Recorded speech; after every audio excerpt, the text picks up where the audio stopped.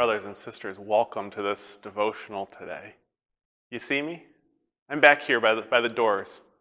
To, to your left, no, to your right, down. There, there I am. See me back here? I'm all the way back here because I wanted to talk to you a little bit about the structure of the church. Yesterday we talked about that thing called the Rood screen. If you have no idea what I'm talking about, take a look at the devotional from yesterday and you'll, and you'll see. But if you look all the way back here, you'll see a glimpse of what churches have historically looked like in so many cases, especially as we look at what we call Gothic architecture. Think about a cathedral, maybe like the National Cathedral or or some of the cathedrals that you find in New York City or in Ireland, England, around the world.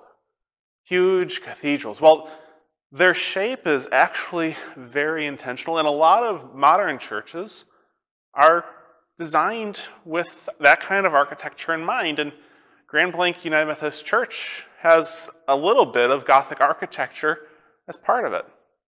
Well, let's take a little bit of look at Scripture and, and see what I mean. In John chapter 3, Jesus has this encounter with a man named Nicodemus. There was a Pharisee named Nicodemus, a Jewish leader. He came to Jesus at night and said to him, Rabbi, we know that you are a teacher who has come from God. For no one could do these miraculous signs that you do unless God is with him. Jesus said to him, I assure you, unless someone is born anew, it's not possible to see God's kingdom. Nicodemus asked, How is it possible for an adult to be born? It's impossible to enter the mother's womb for a second time and be born, isn't it? So here's the strange thing that Gothic architecture did. Is it took that story very seriously.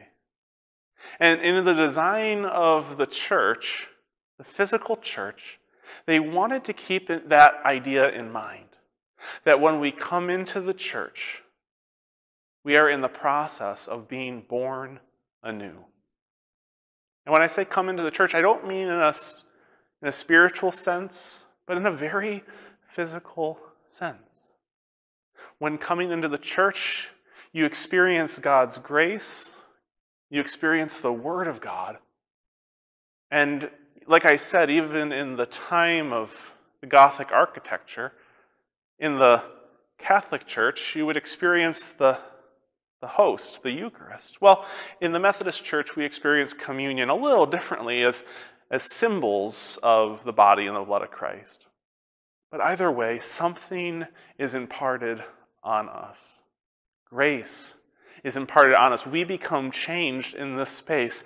And then we take the walk down this aisle and we exit out these doors. Now, if you look at the shape of the exit, you'll see that it actually kind of resembles, this is weird, I know, the birth canal. If you look at architecture from the Gothic ages, you'll really see this image. And you know what? It's entirely intentional. Because we are reminded that as we exit this space, church isn't done. Rather, we are being reborn. We are being reborn to go out and to see God's kingdom. Notice how Jesus said, No one who isn't born anew will be able to see God's kingdom. I don't think Jesus is talking about heaven here. I think he's talking about unless we become born in the Spirit and put away our earthly ways, unless we become aware intimately with what God cares about, and exit through these doors changed, different than when we first came in, if we exit being reborn and be reminded by the architecture that we are reborn into this world we can see things differently. We can see things differently because now we understand God's grace a little bit better. Now we experience God's grace a little bit more.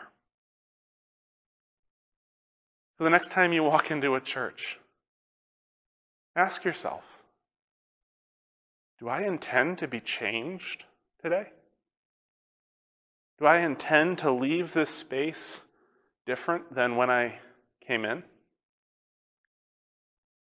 regardless of the architecture, when I walk through those doors to the outside, am I reborn in such a way, again and again and again, that I can begin to see God's kingdom here on earth as in heaven? Amen.